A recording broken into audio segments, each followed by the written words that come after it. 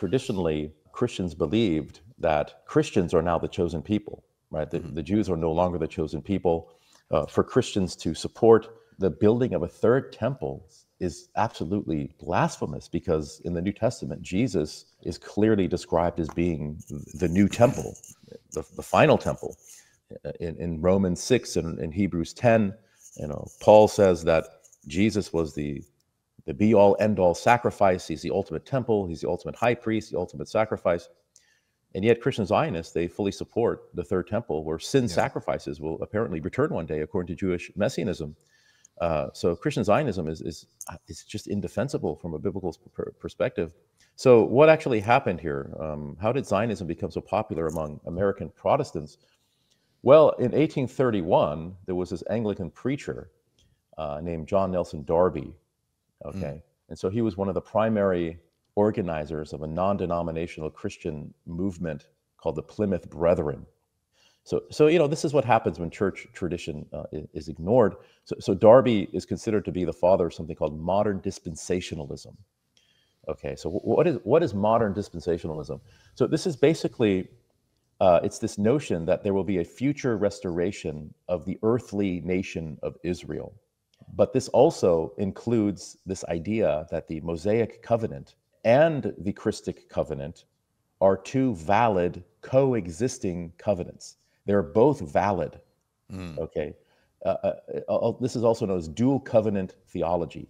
In other words, Christians do not need to convert Jews. hmm The Jews already have a valid covenant. Jews are Mm. still chosen by God, irrespective of their belief in Jesus. Okay. So if, if we just think about the theological implications of this for Christianity, I mean, this implies that Christ only came for the Gentiles, Mm. not the Jews. That's the implication that it actually directly contradicts the New Testament Jesus. Uh, you know, when he said, I was not sent but unto the lost sheep of the house of Israel, Mm. right? So, you know, instead of, you know, for God so loved the world, he should have said, for God so loved the Gentiles hmm that he gave his only begotten son because the Jews don't need him, at Yeah. least not yet. So, so according to Darby, let's get into his eschatology then, Hmm. that Christ will rule the reconstituted uh, physical, ethnic Jewish state of Israel. So national Israel will be restored according to Darby. According to Darby, the Old Testament prophesizes not so much the church age, but really the kingdom, the millennium where Christ rules the national Jewish state of Israel. And Darby was also a dual covenant dispensationalist. So, what does that mean? Again, this means that the Mosaic covenant and the Christic covenant are two valid coexisting covenants. They're both valid. So, when Jesus returns to rule over national Israel, all of Israel will eventually believe in him Mm. right? And there's going to be a reversal. He came the first time, they almost all rejected him. When he comes the second time, they will all believe in him. Okay. Now, now Darby was famous for saying that the Bible must be rightly divided. This is a very famous phrase from Darby. He actually takes it from the letters of Paul, but Paul uses it in a different way. The Bible must be rightly divided. What he meant was that much of the New Testament does not actually apply to Christians, but only to Jews Mm. that, that Jesus, primarily in the synoptic gospel, so Matthew, Mark, and Luke, he's actually teaching the Mosaic covenant. Okay. But in John's gospel, as well as through Paul's writings, Jesus was advancing the Christian covenant. So there's almost like two gospels. So Mm. according according to Darby, Jesus was teaching both dispensations. Okay, both both covenants are valid side by side. Now Darby's dispensationalism uh, eventually found its way across the pond uh, to America. So Pastor James Hall Brookes, he kind of just fell in love with Darby um, with his teachings. Right? Don't get the wrong idea. Um, and then Brookes, he, he was in St. Louis, and there was an annual Bible conference called the Niagara Bible Conference. And Brookes was often the keynote speaker. So it was at this conference when Darbian uh, dispensationalism uh, became more and more popular via James Brookes. And Brookes had a preacher friend named Dwight Moody. Uh, and Moody would later establish the famous Moody Bible Institute in Chicago, where Bible is their middle name, as Bart Ehrman always says. Mm. Uh, and then Moody also became a Darbian dispensationalist. And then Moody befriended a man named Cyrus Ingerson Scofield. Okay. Now, Scofield was a morally questionable lawyer and politician. He was accused of multiple charges of theft, uh, bribery, forgery. He was a deadbeat husband and father, a self described alcoholic uh, turned Christian minister. So he became an ordained pastor in Dallas in 1883. Hmm. Scofield. In 1888, he wrote a treatise called Rightly Dividing the Word of Truth. Rightly hmm. Dividing the Word of Truth. So he started calling himself uh, C.I. Scofield, D.D., that is Doctor of Divinity, although there's okay. no record of him ever graduating mm. from seminary. So it seemed like he gave himself kind of an honorary doctorate, kind of like what Dartmouth College did for Dr. Seuss. Right? honorary doctorate. Dr. Seuss wasn't a real doctor. C.I. Scofield was not a real doctor. Mm. In 1909, Scofield wrote his Scofield Study Bible. This was published by Oxford. Mm. So, this Bible, the Scofield Study Bible, had a massive, massive impact on American Protestants and evangelicals. It is no exaggeration that this Bible turned millions of American Protestants into Christian Zionists. I mean, it changed a generation of preachers. His, his Bible translation is essentially the King James translation, but he added all of these strange notes in his commentary. So, in his commentary of Genesis 12 3, okay, so this is the most infamous one. Mm-hmm. Okay, so this is God's promise to Abraham. Okay, so Scofield's commentary it changed the game. So basically, God says to Abraham, "I will bless those who bless you and curse those who curse you." So here's what Scofield wrote. Right? He said, "And curse those who curse you." Wonderfully fulfilled in the history of the dispersion, it has invariably fared ill with the people who have persecuted the Jew, mm. well with those who have protected him. The future will still more remarkably prove this principle. Mm. Right. So, so, so basically, Scofield is applying this verse to ethnic Jews, uh, contemporary ethnic Jews. That this that the Jews are still chosen. That anyone who curses Jews have in, uh, will be cursed by God.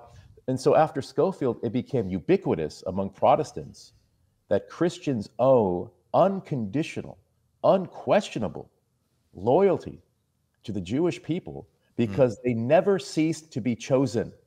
Okay, mm. this is Scofield's commentary, and so this doggish Christian loyalty, this uh, this pathetic, almost slavish mm-hmm. Christian loyalty to ethnic Jews extends to the modern murderous state of Israel, because eventually Jesus will rule Israel. That's mm. Jesus' future kingdom, mm. right? But as we said, in light of the New Testament, and this is a grave misleading, misreading of Genesis chapter 12, because Paul actually quotes, he actually, Paul has a commentary on Genesis chapter 12. And Paul says that when it says Abraham and his seed, his seed is only Jesus, not the Israelites. Mm. This, is, this, is, what Paul says in Galatians chapter 3. Mm. He says, if if you belong to, to Christ, then you are the seed of Abraham. This is a conditional statement in, in Galatians 3. In other words, you have to believe in Jesus or else you're no longer chosen. Hmm. Right? So, according to the New Testament, uh, the church is the new Israel. The church is a new Zion, right? Uh, which does and can include some ethnic Jews as well. But but belief in Jesus without is without question. You have to believe in Jesus. According to the New Testament, okay, the Last Supper um, the, at the Last Supper, the, this is this is when the pronouncement and initiation of the new covenant co- covenant uh, occurred. This was on Mount Zion on Holy Thursday, and then the descent of the Holy Spirit on the day of Pentecost occurred in the same upper room 50 days later on Mount Zion. So both the establishment of the new covenant as well as the proclamation of the new covenant happened on Mount Zion in Jerusalem. So you see what the authors of the New Testament are saying. The Christian church is the new Zion. Mm. When Thomas Aquinas wrote his hymns praising Zion, there's a bunch of hymns that Aquinas wrote where he's praising Zion. He's praising the Christian church, mm. not, not some future secular Jewish ethno state. Yeah. So how, how did Scofield actually do it? So, so in 2005, uh, Joseph Canfield, he wrote a biography about Scofield. Uh, it's called the, the Incredible Scofield and His Bible. So, Mm. a- according to Canfield, in 1901, Scofield joined an, an exclusive males only secret society called the Lotus Club. Mm. And, and Canfield suggests that someone highly influential within the club, he thinks it was another lawyer named Samuel Untermyer, uh, basically promoted and financed Scofield's Bible project. In other words, Scofield had powerful American Zionists bankrolling his project. Mm. Scofield was the textbook definition of what's known as a useful idiot, Mhm. right? Someone who's used by powerful people to do their bidding without really understanding the consequences of his of Mm. his actions. So in 1948, when you know Israel became a state, Darbian dispensationalism through Scofield exploded even more in Mm. popularity among Western Protestants. So Israel has been restored. You see, just as Darby said. So this further vindicated dispensationalism. And so the Christian Zionists, they were saying, you know, we better be nice to Israel or else God will curse us. According to Genesis, you know, 12, 3, we better, we better be nice to Israel because it is Jesus's future kingdom. Mm. Now, one of Scofield's students uh, was named Lewis Chafer. He died in 1952. And, and Chafer founded the Dallas Theological Seminary in 1924. So he was actually the president of, of Dallas Theological Seminary until 1952. A famous alumnus of DTS uh, is a man named Hal Lindsey, and he's still alive. In 1973, uh, Lindsey wrote this book that took the world by storm. Uh, it, it had the power of 30 Harry Potters. Wow. Uh, it was called The Late Great Planet Earth. Mm. Okay. Millions upon millions of copies were sold.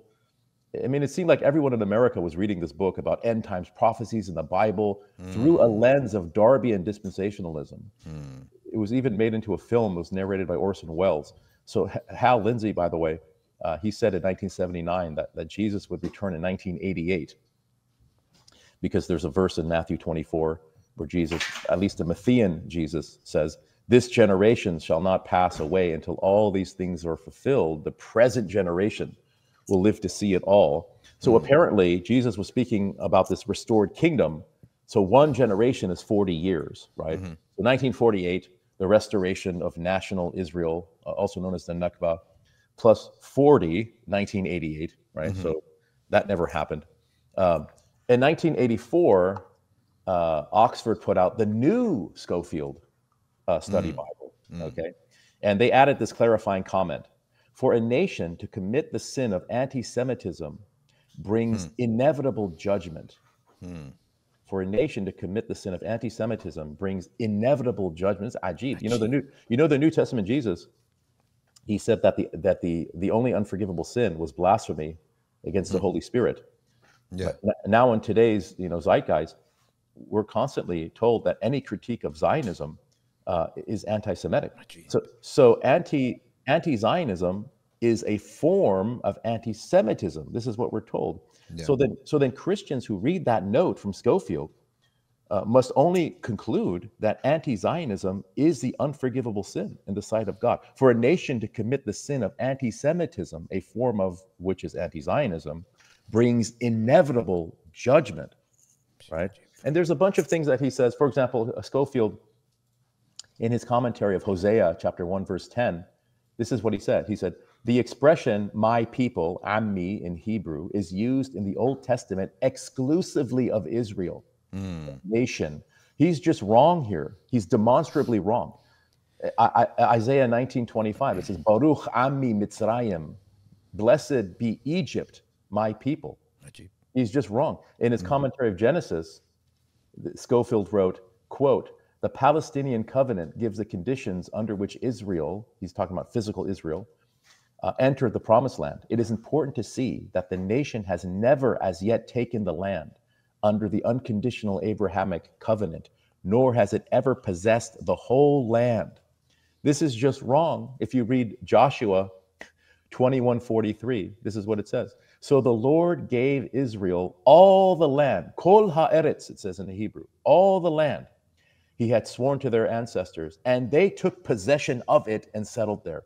So Scofield wants us to think that this is still an outstanding promise that God has not yet fulfilled his side of the deal. Mhm. Right? It's really amazing. And then he says, two dispossessions and restorations have been accomplished. Israel is now in the third dispersion from which she will be restored at the Mm. return of the Lord as king. So I think Christians they need to ask themselves, they need to ask themselves a very important question. Who are you going to believe? Who do you follow? Scofield or scripture? Yeah.